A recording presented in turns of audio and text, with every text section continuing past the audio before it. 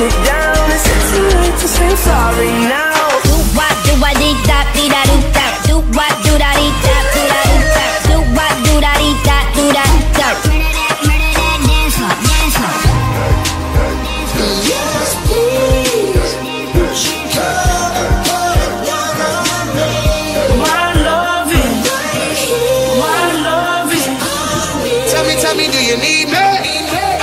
Tell me, do you love me? I can't find the words that just go. Do what do I dee da dee da do da. Do what do da dee. Gente, tudo bom? Bem-vindas de volta ao meu canal. E hoje eu estou aqui, gente, com um vídeo que eu estou muito animada pra falar pra vocês. Quem me segue no Snap ou em alguma outra rede social provavelmente já sabe. Acho que eu só postei no Snap, no Instagram, não sei. Mas eu já postei. E eu mudei meu papel de parede aqui do quarto. E eu queria contar pra vocês um pouquinho como que foi, como que eu fiz, não sei o quê, porque quem fez fui eu. Então, é, eu estava procurando vários vídeos na internet de papel de parede, como fazer. É, e aí eu achei um vídeo de uma menina colocando um papel de parede que ele era autoadesivo e eu achei muito interessante e fui pesquisar sobre. Vi vários vídeos, gente, vários vídeos. E aí eu decidi que eu queria mudar meu papel de parede. Mas por que, Luísa? Por que mudar o papel de parede se seu papel de parede era tão bonito? Eu também gostava do meu papel, gente. Eu, eu realmente gostava. Só que chegou um momento que eu já não. Não sei, que eu já não gostava do papel. Eu acho que todo mundo tem esse papel de parede hoje em dia e eu não gosto mais dele. E olhar pra ele todo dia também tava me enchendo, sabe? E aí eu resolvi mudar de papel de parede. Aí eu achei um vídeo também no YouTube que uma menina mostrava uma loja que, que vendia né, papel de parede meio que autoadesivo, né? E aí eu fui olhar, adorei os papéis de parede, fiquei super interessada e aí pedi os papéis de parede. Chegaram aqui em casa e chegaram alguns rolinhos assim, olha. E aí chegaram alguns rolinhos assim, é, embrulhadinhos. E aí eu pedi dois papéis. Um papel foi esse listrado que tá aqui atrás, eu vou mostrar pra vocês. E outro foi esse daqui dessa parede, que são tijolinhos brancos. Eu vou deixar o link aqui pra caso vocês queiram ver.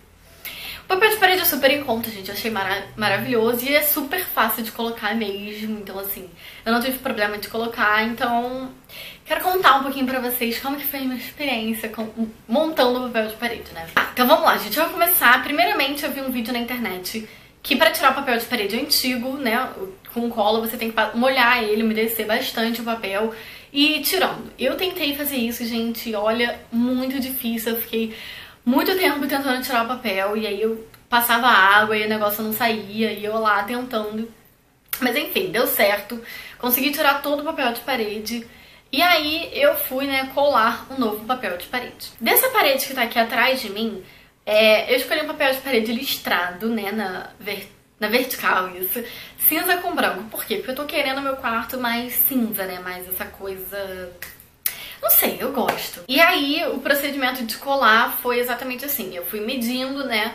Eu primeiro coloquei de um lado e aí eu fui abaixando e vim com uma espátulazinha pra gente poder, né, tirar as bolhas, tirar essas coisas. Assim, essa parte é um pouco difícil, né, gente? Eu vou mostrar pra vocês como que ficou o papel de parede no final, que algumas partes ficaram com bolhas. Mas tudo bem, a vida é assim. Foi a primeira vez que eu coloquei um papel de parede, foi a primeira vez que eu fiz uma coisa dessa sozinha, então pra mim ficou maravilhoso. E aí eu fui colocando, colocando. E aí no outro lado eu falei, não, me recuso a tirar papel de parede. Foi muito difícil de eu tirar papel de parede antigo. Então eu vou deixar o mesmo papel e vou colar por cima. Assim, a ideia não foi maravilhosa. Porque se você perceber, olhar bem de pertinho, ainda dá pra ver o meu papel de parede antigo, mas dá pra disfarçar. É, e aí o outro papel eu tive que cortar em cima pra ficar mais ou menos todos na mesma altura, porque eram tijolos, né? Então, tipo assim, um começava numa parte do tijolo, outro começava em outra, então, tipo, eu cortei a parte de cima de todos, e aí fui colando, né, de pouquinho em pouquinho, e aí o que eu tive mais dificuldade, eu tenho que admitir para vocês, foi a parte das tomadas, porque na parte das tomadas, a primeira tomada eu falei, putz, tem uma tomada aqui, eu não tinha tocado que tinha uma tomada. Então ficou uma coisa meio cagada, não ficou, tipo, sei lá, não deu muito certo na primeira tomada. A segunda tomada já também ficou mais pra lá do que pra cá. E a terceira tomada ficou maravilhosa, sensacional, consegui fazer super. Então, assim, né, com a prática você vai pegando jeito e vai ficando melhor. É, em relação ao acabamento, eu acho que ficou também muito bom, exceto na parte das tomadas. E foi super, super fácil de fazer, sério, gente. Eu acho que tá dando outro clima pro meu quarto. É, não sei, eu tô mais afim do meu quarto agora do que antes, sabe? Antes eu acho que não. não é, Eu amava o papel de parede antigo, mas eu acho que ele não, não tava mais combinando comigo, porque eu não sei se vocês sabem, mas eu sou uma pessoa prata, né, assim dizendo. E aquele papel de parede ele tinha mais, ele era mais puxado por um bege mais dourado. Então eu já não tava mais gostando dele, eu ficava tipo, ai não, não é isso que eu gosto, não é isso que eu uso, então resolvi mudar, né? Então assim, gente, contando a minha experiência de papel de parede, não é difícil de colocar, o papel de parede é realmente bem tranquilo. E sabe quando você tá, tipo, querendo mudar do nada, assim, tipo, de um dia pro outro, você quer? Então, eu queria, então foi muito rápido, chegou bem rápido pra mim, chegou mais ou menos uns 4, 5 dias. É, e foi muito fácil a aplicação e é uma coisa que você pode fazer em casa, você não precisa chamar um profissional pra te ajudar, entendeu? Eu acho que isso é uma coisa bem positiva, porque quando o meu papel de parede antigo, um cara teve que vir até minha casa, eu tive que pagar pra ele colocar, então, né, não tem nada de economia nisso, então... É, o que eu aconselho pra vocês é, se vocês forem comprar um papel de parede na Decoratons, foi a loja que eu comprei, eu vou deixar o link aqui embaixo, é, vocês têm que medir né, a sua parede para saber quanto que vocês precisam de rolo, quanto vocês precisam de papel. E sempre peça um pouquinho a mais. Por exemplo, ah, sua parede tem 2,5 por 2,5. Pede 3 por 3. Por quê? Porque vai que você erra, vai que você corta errado, né? Então eu te aconselho sempre pegar um pouquinho a mais do que, do que realmente é para ter essa margem de erro, né? Então, porque às vezes você mediu e às vezes não necessariamente fica naquele tamanho. Por exemplo, eu quando eu medi, eu medi com, com o cabo do meu celular, porque o cabo do meu celular tem um metro.